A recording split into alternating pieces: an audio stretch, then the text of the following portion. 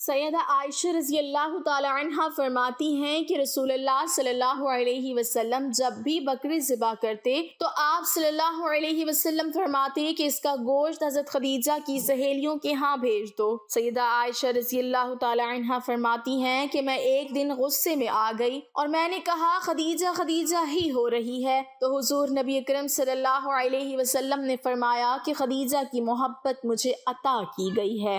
एक दिन हज़रत आयशा सिद्दीक़ा रज़ी अल्लाह तहा फरमाती हैं कि मैं हुजूर नबी करीम सल्लल्लाहु अलैहि वसल्लम की अजवाज मतहरात में से किसी पर इतना रश्क नहीं करती थी जितना हज़रत खदीजा रज़ी अल्लाह तहा पर। हालाँकि वो मेरे निकाह से पहले ही वफात पा चुकी थी, लेकिन मैं आप सल्लल्लाहु अलैहि वसल्लम को उनका कसरत से ज़िक्र फरमाते हुए सुनती थी कि अल्लाह ताला ने आप सल्लल्लाहु अलैहि वसल्लम को हुक्म फरमाया कि खदीजा को मोतियों के महल की बशारत दे दीजिए। और जब आप सल्लल्लाहु अलैहि वसल्लम कोई बकरे ज़िबा फरमाते तो आप सल्लल्लाहु अलैहि वसल्लम उनकी सहेलियों को इतना गोश्त भेजते, जो उन्हें किफ़ायत कर जाता।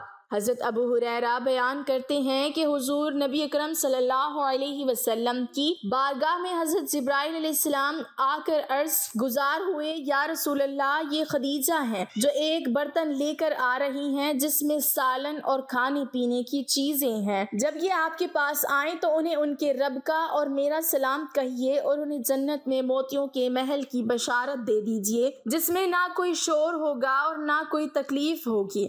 हज़रत अली रज़ी अल्लाह तु से रिवायत है कि हुजूर नबी अकरम सल्लल्लाहु अलैहि वसल्लम ने फरमाया, अपने ज़माने की सबसे बेहतरीन औरत मरियम है और इसी तरह अपने ज़माने की सबसे बेहतरीन औरत खदीजा है। हज़रत आयशा रज़ी अल्लाह तहा से रिवायत है कि हज़रत खदीजा रज़ी अल्लाह तहा की बहन हाला बिनती खौलैद ने रसूल अल्लाह सल्लल्लाहु अलैहि वसल्लम से अंदर आने की इजाज़त तलब की तो आप सल्लल्लाहु अलैहि वसल्लम उसे हज़रत खदीजा रज़ी अल्लाह तहा का इजाज़त तलब करना समझ कर कुछ लर्जा बरंदाम से हो गए। फिर फरमाया, खुदाया, ये तो हाला है।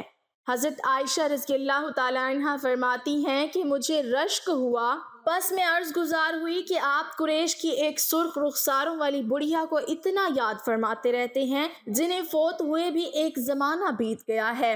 क्या अल्लाह ताला ने आपको उनका नेमल बदल अता नहीं फरमा दिया है? हज़रत आयशा सिद्दीक़ा रज़ी अल्लाह तहा फरमाती हैं कि मुझे हुजूर नबी अकरम सल्लल्लाहु अलैहि वसल्लम की किसी जोजा मोहतरमा पर इतना रश्क नहीं आता जितना हज़रत खदीजा रज़ी अल्लाह तहा पर। हालाँकि मैंने उन्हें देखा नहीं है, लेकिन हुजूर नबी अकरम सल्लल्लाहु अलैहि वसल्लम अक्सर उनका ज़िक्र फरमाते रहते थे, और जब आप सल्लल्लाहु अलैहि वसल्लम जब कोई बकरे ज़िबा फरमाते तो उसके आज़ अज़ा को अलहदा करके उन्हें हज़रत खदीजा रज़ी की मिलने वाली औरतों के यहाँ भेजते। कभी मैं इतना अर्ज़ कर देती कि दुनिया में क्या हज़रत खदीजा रज़ी अल्लाह के सिवा और कोई औरत नहीं है? तो आप सल्लल्लाहु अलैहि वसल्लम फरमाते हाँ वो ऐसी ही यगाना रोज़गार थी और मेरी औलाद भी उनसे है। हज़रत आयशा सिद्दीका रज़ी अल्लाह तहा से रिवायत है कि मैंने हुजूर नबी अकरम सल्लल्लाहु अलैहि वसल्लम की अजवाज मुताहरात में से किसी पर रश्क नहीं किया सिवाय हज़रत खदीजा रज़ी अल्लाह तहा के।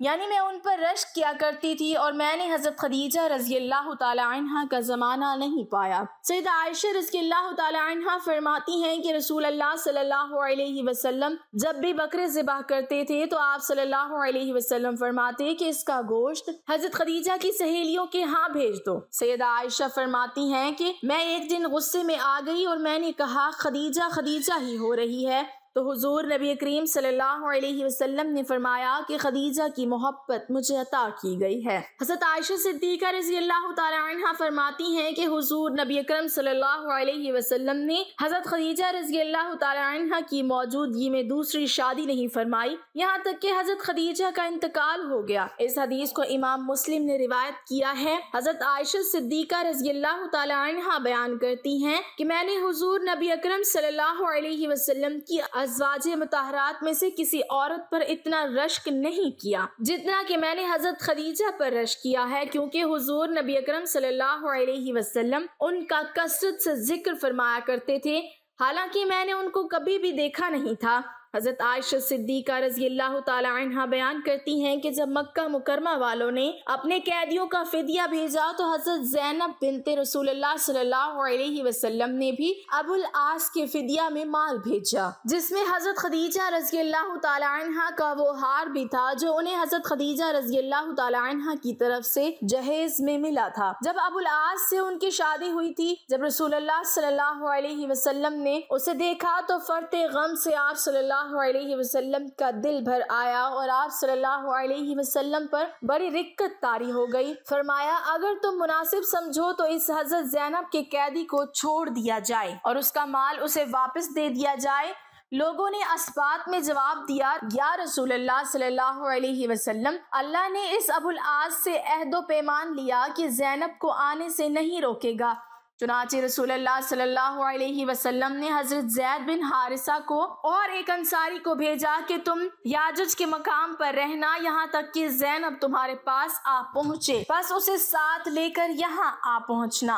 हज़रत अनस रज़ी अल्लाह तु से रिवायत है कि हज़रत जब्राइल सलाम हुजूर नबी अक्रम वसल्लम के पास आए। दरहा, लेकिन हज़रत खदीजा रज़ी अल्लाह तहा भी उस वक्त आप वसल्लम के पास मौजूद मौजूद थी। हज़रत इब्राहिम ने फरमाया, बेशक अल्लाह ताला हज़रत खदीजा पर सलाम भेजता है। उस पर हज़रत खदीजा रज़ी अल्लाह तहा ने फरमाया, बेशक सलाम अल्लाह ताला ही है और जब्राइल सलाम पर सलामती हो और आप पर भी सलामती हो। और अल्लाह की रहमत और उसकी बरक़ात हो।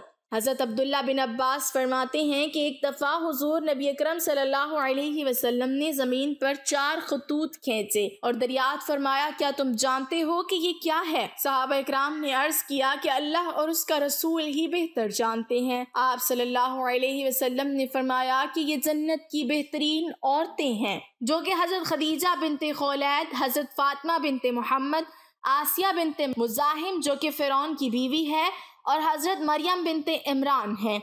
हज़रत अब्दुल्ला बयान करते हैं कि हज़रत आयशा सिद्दीका फरमाती हैं कि रसूल सल्लल्लाहु अलैहि वसल्लम, जब हज़रत खदीजा का ज़िक्र फरमाते थे तो उनकी तारीफ़ और उनके लिए इस्तगफार और दुआए मगफरत करते हुए तकते नहीं थे। बस एक दिन आप सल्लल्लाहु अलैहि वसल्लम ने हज़रत खदीजा का तस्करा फरमाया तो मुझे गुस्सा आ गया। यहाँ तक कि मैंने ये कह दिया कि अल्लाह तबारक व ने आपको इस बुढ़िया के एवज हसीन और जमील बीवियाँ अता फरमाई हैं।